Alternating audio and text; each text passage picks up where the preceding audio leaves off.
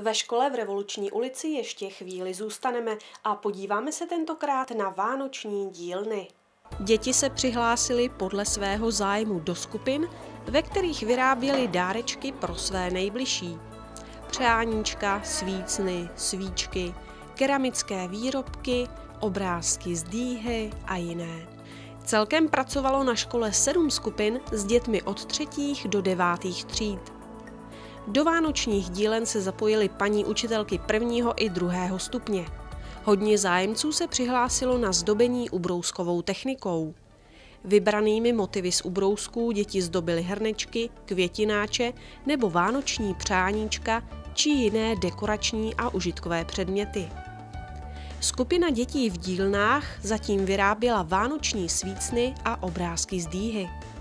Podle nakreslených předloh slepovali děti mozaiku z různobarevných dých. Zábavná byla také výroba svíček. Zbytky starých svící nejprve děti rozehřály, případně je obarvili voskovkami a potom vosk slévali do kelímků s připraveným knotem. A další originální dárek byl na světě. Učebna výtvarné výchovy se proměnila v keramickou dílnu, kde děti pod vedení paní učitelky Švábové vykrajovaly z plátů hlíny vánoční tvary a zdobili je podle své fantazie. Vánoční dílny probíhaly po vyučování v odpoledních hodinách, přesto byl zájem ze strany žáků a žákyň velký.